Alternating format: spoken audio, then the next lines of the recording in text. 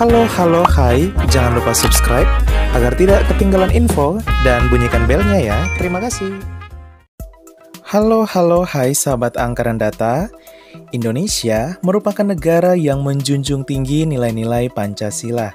Terdapat enam agama yang diakui secara resmi oleh pemerintah Indonesia, yaitu Islam, Kristen Protestan, Kristen Katolik, Hindu, Buddha, dan Konghucu, serta ditambah satu lagi dengan penganut kepercayaan lokal. Seluruh agama ini terus hidup berdampingan dalam bingkai bineka tunggal ika.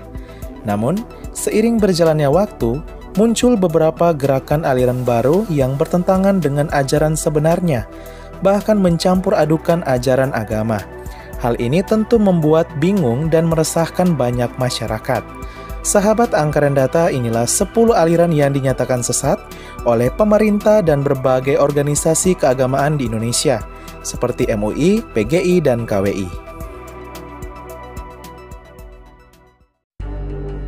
10. Buddha dan Budi Menurut sensus pemerintah, kebanyakan agama sesat berkembang di kota-kota besar, namun tidak seperti aliran Buddha Budi Ajaran Buddha Budi bermulai di kota kecil Kudus, Jawa Tengah, dan menyebar secara pesat. Buddha Budi dianggap sebagai aliran sesat karena menggabungkan dua agama, yaitu Islam dan Buddha, yang sudah sangat jelas berbeda. Aliran ini kemudian dinyatakan sesat. 9. Saksi-saksi Yehova Saksi-saksi Yehova atau Yehua adalah sebuah aliran asal Amerika Serikat yang mulai menyebar di Indonesia pada tahun 1930. Mereka mengaku bagian dari Kristen, namun tidak merayakan Natal, tidak mempercayai Allah Tritunggal, tidak memakai salib, melarang penghormatan bendera merah putih, serta menolak menyanyikan lagu Indonesia Raya. Hal ini membuat saksi Yehova oleh hampir seluruh kekristenan di dunia menganggapnya sebagai aliran sesat.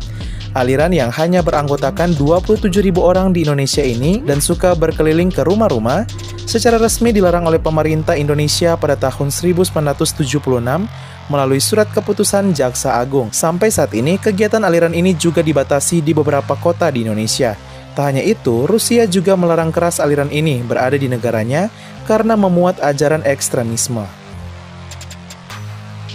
8. Hakekok Bala Kasuta MUI menetapkan aliran Hakekok Balakasuta pimpinan Arya dari Pandeglang, Banten ini sebagai aliran sesat.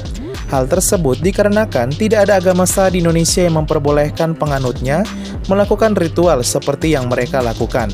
MUI Banten bahkan telah menyatakan pernah melakukan pembinaan para pengikutnya ini. Penangkapan akhirnya dilakukan lantaran pengikut ajaran sesat ini kerap melakukan ritual mandi bersama pria dan wanita tanpa menggunakan busana di tempat terbuka. 7. Tarekat Tajul Halwatia Syekh Yusuf Goa MUI Kabupaten Goa, Sulawesi Selatan menyatakan aliran Puang Lalang, Tarekat Tayul Waltia, Syekh Yusuf Goa adalah aliran sesat dan menyesatkan. Hal ini sebagaimana yang tertuang dalam fatwa MUI 2016.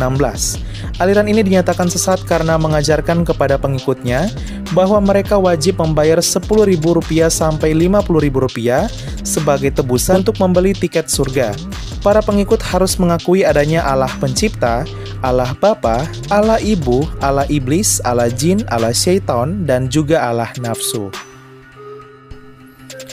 6. Gerakan Fajar Nusantara MUI juga mengeluarkan fatwa dalam Fatwa Majelis Ulama Indonesia nomor 6 tahun 2016 tentang aliran gerakan Fajar Nusantara atau Gafatar. Fatwa ini menyatakan bahwa aliran Gafatar adalah sesat dan menyesatkan karena merupakan metamorfosis dari aliran Al-Qiyada Al-Islamiyah yang sudah difatwakan sesat melalui fatwa MUI nomor 4 tahun 2007. Mereka mengajarkan paham dan keyakinan milah Abraham yang sesat menyesatkan karena mencampur adukan ajaran Islam, Kristen, dan juga Yahudi dengan menafsirkan ayat-ayat Al-Quran yang tidak sesuai dengan kaidah tafsir. 5. Gereja Setan Sebagian besar sahabat angka dan data pasti tidak asing lagi dengan aliran yang satu ini. Ya, aliran satanik atau yang dikenal oleh orang-orang Kristen sebagai gereja setan lokal di Indonesia. Aliran ini bahkan memiliki beberapa cabang di Indonesia, di antaranya di Jakarta, seperti di Tanah Abang, Kelapa Gading, dan Pondok Indah. Seseorang yang bergabung dalam gereja ini akan mendapat uang. Ajaran mereka yaitu melakukan penghujatan kepada Tuhan, melakukan hubungan daging yang tak bermoral, serta mengambil para calon bayi aborsi untuk dipakai dalam ritual mereka.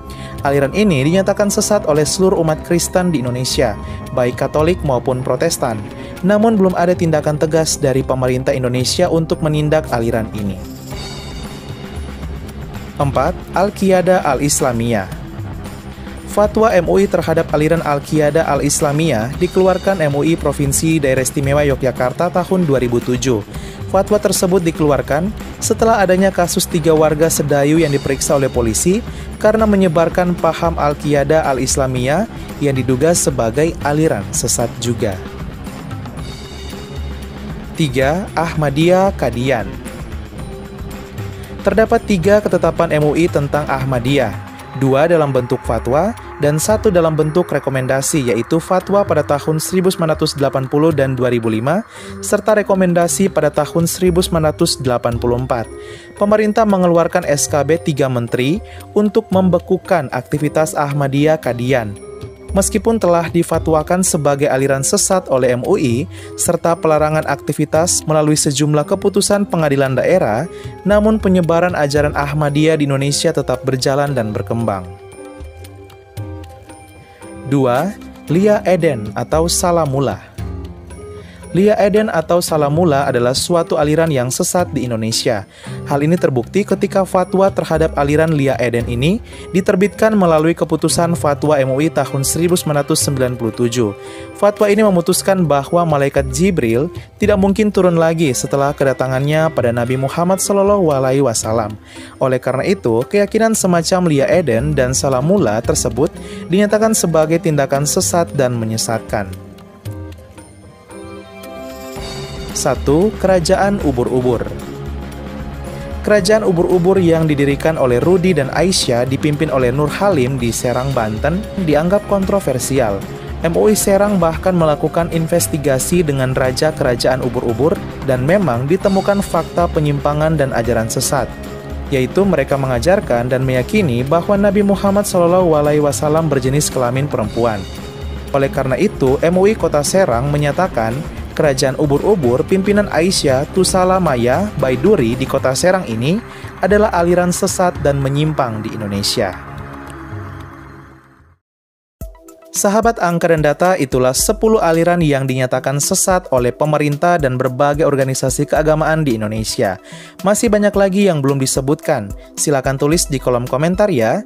Semoga melalui video ini kita lebih berhati-hati dan tetap setia berpegang teguh pada ajaran agama kita masing-masing yang diakui secara resmi oleh Indonesia. Dan justru ketika kita berjumpa dengan mereka, mari kita menyapa dengan penuh kehangatan sebagai sesama anak bangsa dan menasihati mereka untuk kembali ke jalan yang benar sesuai dengan ajaran agama yang asli. Sekian dan terima kasih. Halo halo hai Bineka Tunggal Ika.